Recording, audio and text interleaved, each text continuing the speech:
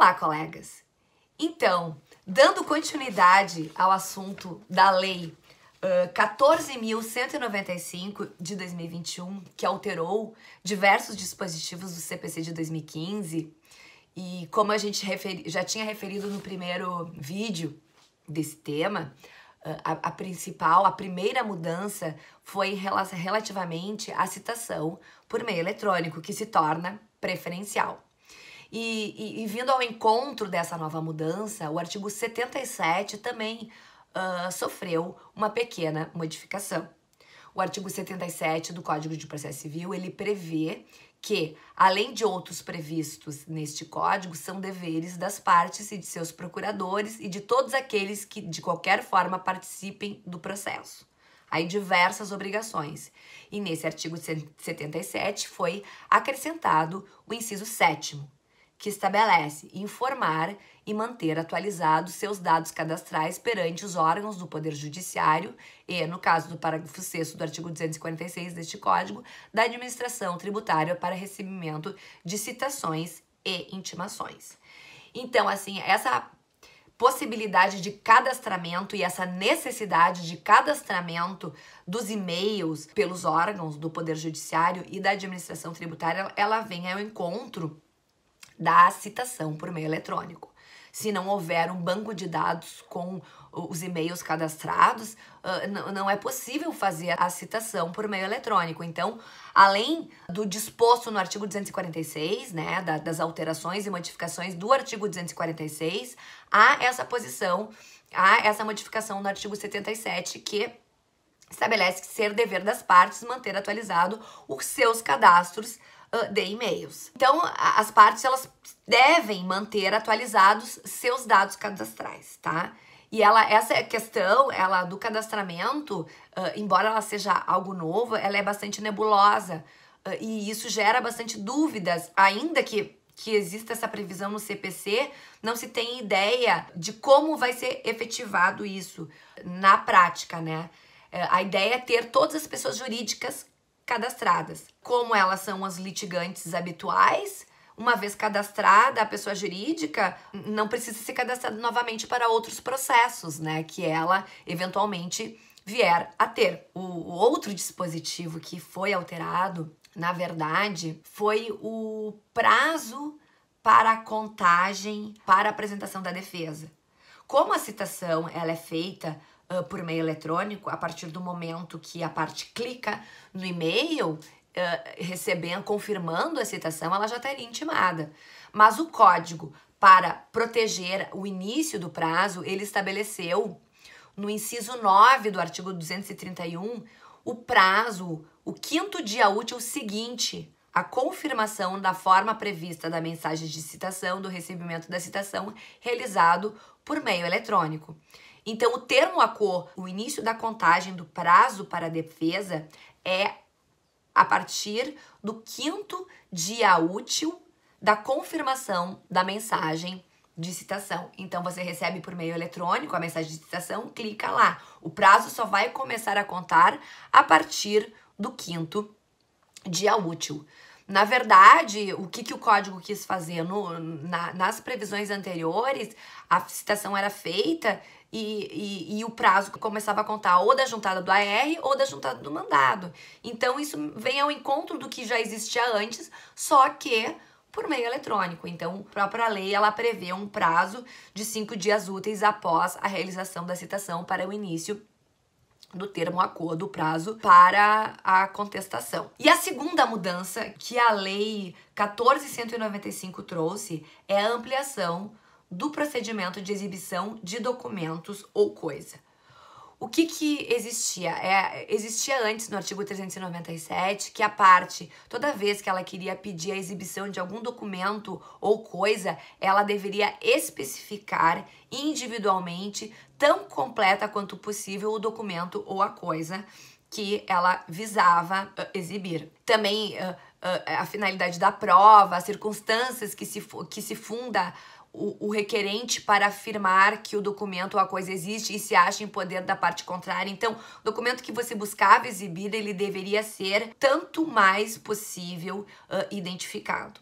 O que, que o, 3, o 397 traz? Ele traz uma ampliação. Ele não exige que se especifique exatamente o documento, mas ele possibilita o pedido de exibição de uma categoria de documentos.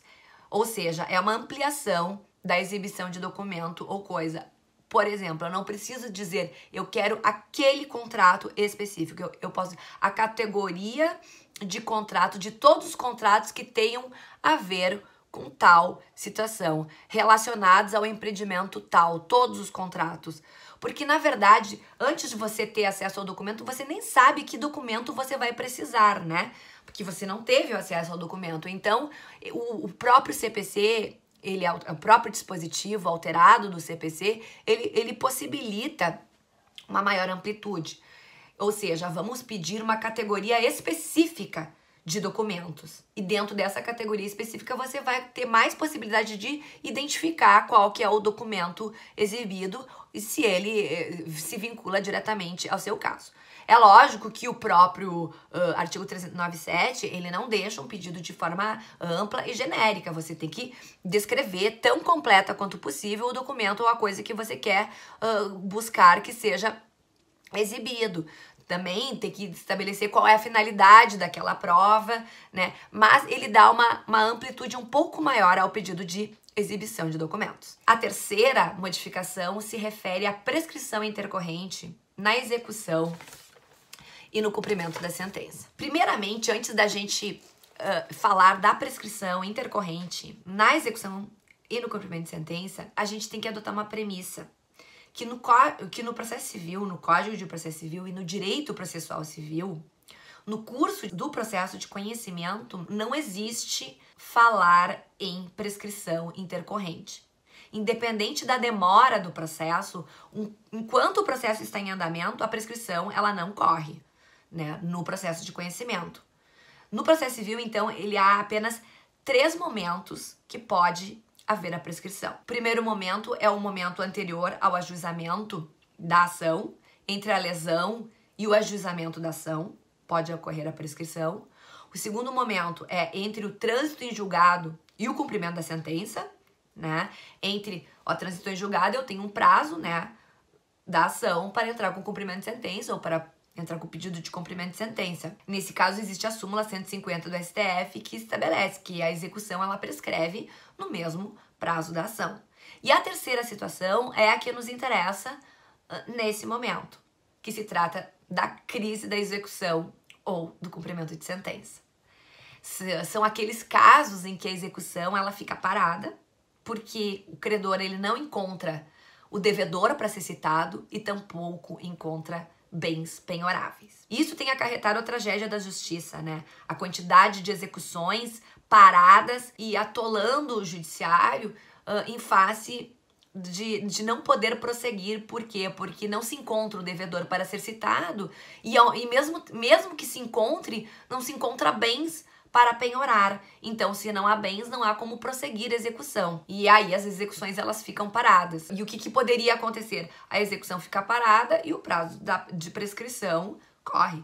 Né? E aí é a possibilidade de ocorrer a prescrição intercorrente. Então, o que, que o artigo 921 ele, ele alterou? A prescrição intercorrente ela já existia antes, existia a possibilidade de, sus, de suspensão dessa prescrição por um ano, e o que continua existindo, mas o artigo 921 ele alterou o, o inciso terceiro, em que ele estabelece que quando não for localizado os bens do executado e o executado, a execução será suspensa. Antes existia a previsão de, de suspensão uh, quando o executado não possuísse bens penhoráveis. Não se falava na, na, na, na sua localização.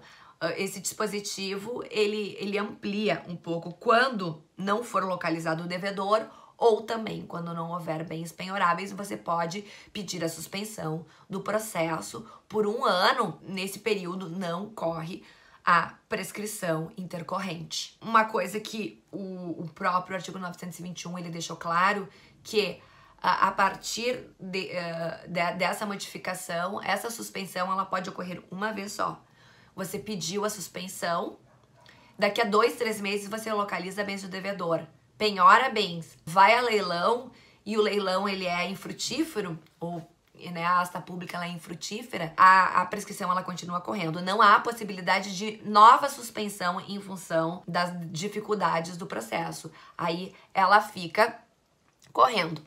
O artigo, ele, o dispositivo, ele foi acrescentado diversos dispositivos, do parágrafo 4 parágrafo 5 parágrafo 6 Então a situação é a seguinte: agora você tem um ano de crédito para suspender a execução. E outra novidade que, que, que houve é que se uh, o, o juiz, depois de ouvidas as partes, em 15 dias, ele poderá de ofício reconhecer a prescrição intercorrente e extinguir o processo, sem ônus para as partes. Então, não há sucumbência. Né? Porque, na verdade, a, a execução está sendo extinta não por culpa das partes, mas porque não houve bens penhoráveis ou mesmo porque não houve citação do devedor. Então, não há sucumbência. Mas a extinção ela só pode ser feita após a oitiva uh, das partes em nome do princípio do contraditório. O parágrafo 6 estabelece que não haverá nulidade, né, se o juiz decretar de ofício a, a prescrição sem intimar a parte, se não houver prova do efetivo prejuízo. Ou seja, se realmente houve a prescrição e o juiz decretou sem ouvir as partes e, e, e, e não há prejuízo porque há prescrição, não, não há nulidade, né? E, e, essa é uma previsão nova que até vem de encontro ao posicionamento estabelecido no STJ, né? Que, que, que, que estabelece que se não houver a intimação, teria que anular e se renovar o ato. Né? E por fim, o parágrafo 7 ele só esclarece que se aplica o dispositivo da, da prescrição intercorrente ao cumprimento de sentença, tanto para a execução de títulos extrajudiciais quanto para ao cumprimento de sentença. Então, em suma, foram essas modificações que, que, que tiveram uh, através da Lei 14.195 de 26 de agosto de 2021. São uh, modificações tênues, mas importantes, a gente ainda não sabe se não vai, não vai haver alguma ação direta de inconstitucionalidade em face da inconstitucionalidade formal da conversão da medida provisória em lei. Então, uh, temos que aguardar. Mas, de regra, as, essas disposições do CPC elas já estão em vigor de acordo com o artigo uh, 58 da, da lei que estabelece a, a vacácio legis uh, dos dispositivos os dispositivos do CPC passam a valer a partir da publicação da lei. Até logo e até a próxima.